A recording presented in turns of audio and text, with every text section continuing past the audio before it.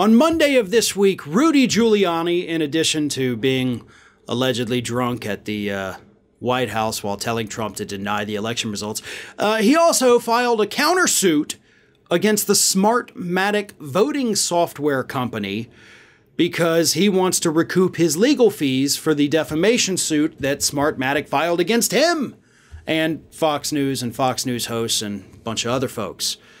So Rudy Giuliani, in a case that, of course, has not yet even gone to trial, it's literally still in the discovery phase, is already saying this whole thing is so bogus that you got to pay me back. I'm not even done with my legal fees yet, but I am asking the court to demand that you pay me back because I'm suing you because you sued me.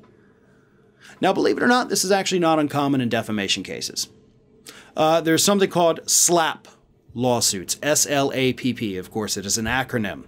And people use these SLAPP lawsuits when they get hit with defamation lawsuits to sue the party suing them, claiming that, hey, they got no claims, they're just trying to shut me up and stifle my freedom of speech. And that, of course, is what Giuliani is claiming in his lawsuit.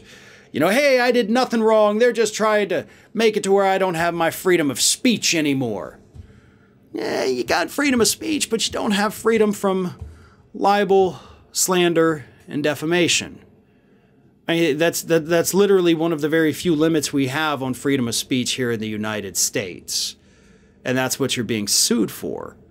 Now, if this thing were, of course, to go to trial, and Giuliani were to prevail, which ain't gonna happen, then would be the time to hit them with the SLAPP suit, right? A lot of times, what happens with these SLAPP suits, by the way, is if it's a case between two kind of minor parties, you will have the SLAPP suit filed before the case comes to uh, a conclusion. Uh, basically, they'll file the SLAPP suit in an attempt to get you to drop the defamation suit. That is the way this typically happens. I've seen it over and over and over again through my line of work. Not to mention the, the law firms that I have worked with over the years, it's very common and it is used basically to shut down a lawsuit because it, you know, has no merit. This one has merit. And the thing is, we know this one has merit because the judges have already ruled that it does in fact have merit. They have said there is reasonable enough evidence to show that the parties involved should have known or should have had the knowledge that what they were saying about Smartmatic was in fact false. So, of course, that is not a final ruling in the case, but that is what the judges have determined when these parties, Fox News specifically, have tried to get them dismissed. The judges have already looked at it and said, nah, there's ample evidence here, guys. You guys are going to face this. You're not wiggling your way out of this. And Fox News, of course, has a wonderful history of being able to wiggle out of defamation lawsuits, but they haven't been able to get out of this one. So it kind of blows my mind a little bit for Rudy Giuliani, who, as incompetent as he is, to think that he can get out of it when even Fox News hasn't been successful in doing that. But it is what it is, right? In the coming weeks, we will probably learn more about Rudy Giuliani's little SLAPP suit against Smartmatic.